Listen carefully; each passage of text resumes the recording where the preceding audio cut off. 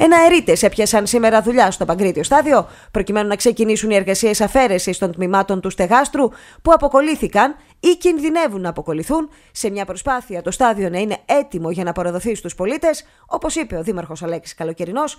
έστω και τμηματικά από τα μέσα της ερχόμενης εβδομάδας. Ο στόχος μας ε, είναι να μπορέσουμε να παραδώσουμε το στάδιο έστω σε τμηματική λειτουργία από τα μέσα της ερχόμενης εβδομάδας, ενδεχομένως και την ερχόμενη Τρίτη. Και από εκεί και πέρα βέβαια θα πρέπει να σχεδιαστεί και να πραγματοποιηθεί ε, η αποκατάσταση του στεγάστρου. ε, και ε, αυτό είναι ένα ζήτημα το οποίο ενδεχομένως να το συνδέσουμε και με προσθήκες στο στάδιο οι οποίες σχετίζονται με την ενεργειακή του αναβάθμιση και για τις οποίες έχουμε τις σχετικές μελέτες. Οι εναερίτες σήμερα, εκτός από την απομάκρυνση των τμήματων του στεγάστρου, πραγματοποίησαν και μια επιτόπου που καταγραφεί, προκειμένου να συνταχθεί σχετική έκθεση, ούτως ώστε το επόμενο διάστημα, όπως ξεκαθάρισε ο Αλέξης Καλοκαιρινός, να τρέξουν εργασίες πλήρους αποκατάστασης. Από την ε, Δευτέρα ε, θα γίνει ένας συνολικός προγραμματισμός, αλλά αυτό γίνεται πάντα με την ε, ε, μέρημνα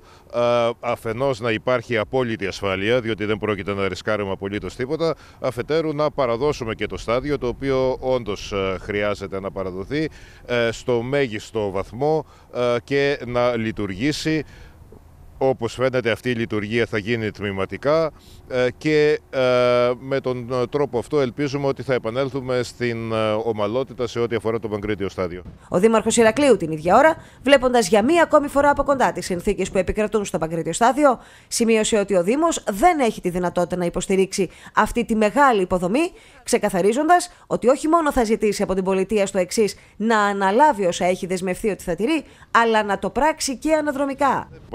Επανεξετάζουμε και τις δεσμεύσεις που έχουν αναλυφθεί από την πλευρά της πολιτείας και δεν έχουν τηρηθεί. Και ό,τι δεν έχει τηρηθεί θα πρέπει εφ' εξής να τηρείται για να μην πω και μάλλον θα το πω ότι και αναδρομικά θα επιδιώξουμε ε, την ε, ε, ενίσχυσή μας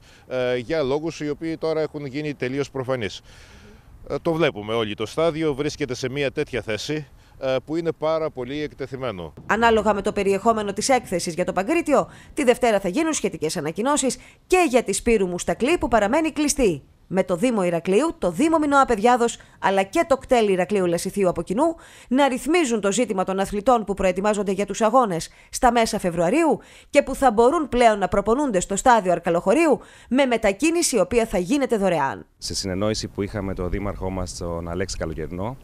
και το Δήμαρχο Μινώα Παιδιάδος, τον κύριο Βασίλη Κικέρογλου, και σε συνεννόηση με το υπεραστικό κτέλ, ε, αποφασίσαμε να μπορούν οι αθλητές να μεταφέρονται δωρεάν ε, προς το στάδιο Αρκαλοχωρίου για τους ε, επικείμενους αγώνες ε, στα μέσα Φεβρουαρίου.